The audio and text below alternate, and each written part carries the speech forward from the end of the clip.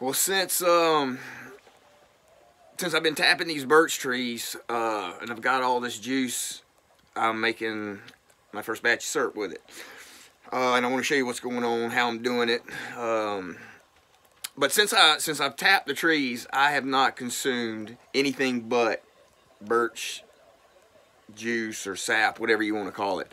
Um, my little my deer horn my deer horn antler taps that I've made work so well. I mean, they, they work so good.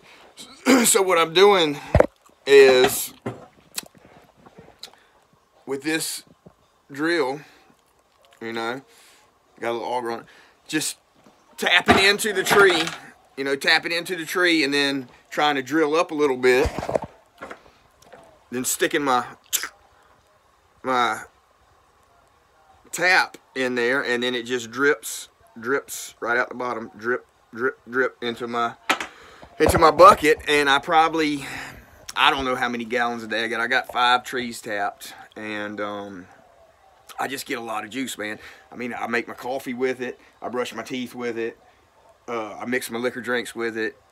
I do everything. That's all that's the only water that I've used since I've tapped the trees. It's pretty awesome I mean, when you think about it, when you tap a tree and you get everything you need out of that tree, it, it blows my mind, man. I mean, I, I love this shit so much. But anyway, so I got all this extra juice and I'm making, I'm making syrup.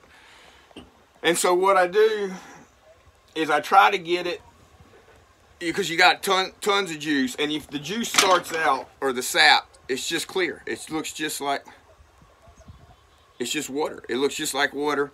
Um, got a little hint of a sweet taste to it. Um, tastes like rainwater.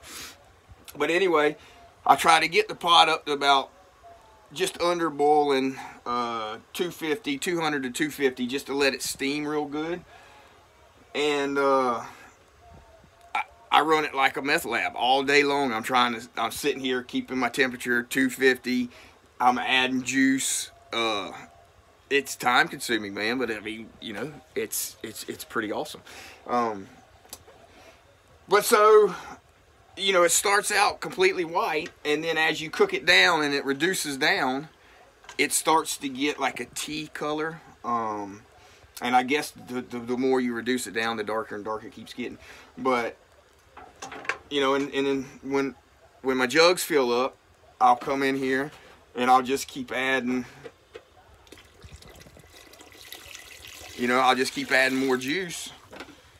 And I've been doing this for three days now and just keep reducing it down slowly. It takes, it's a, it's a process.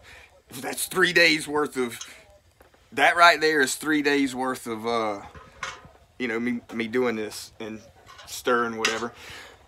And because birch syrup tastes like ass to me, it's, I would never put it on pancakes. I, it, never. So I've been adding honey, wildflower honey, just to sweeten it up a little bit because I think it tastes like shit. but I mean, everybody up here loves it, and when you make something yourself, you love it. And I'm sure I'm going to love this.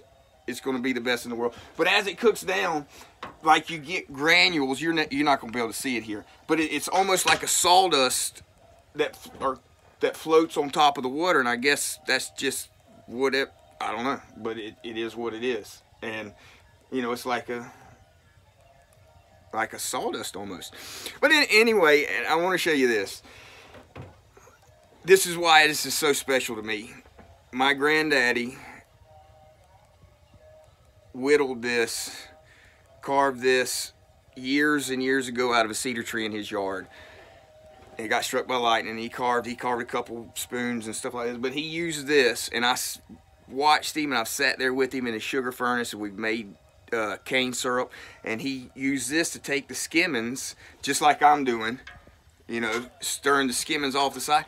When you cook cane syrup you do the exact same process and you take the skimmings off the top and reduce it down and make cane syrup which cane syrup is in a whole different ball game than birch syrup. It's like cane syrup is at the very top birch syrup is at the very bottom. In my opinion. In my opinion I would I don't know I don't know, whatever. But that's just my opinion.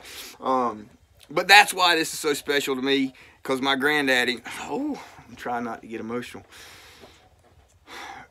I, when I use stuff, I feel like he's here with me and it just makes it that much special to know that his hands that his hands were touching this spoon and doing the exact same thing I did, you know, I'm doing. And it's it's just special to me. But I'll make another video as the syrup.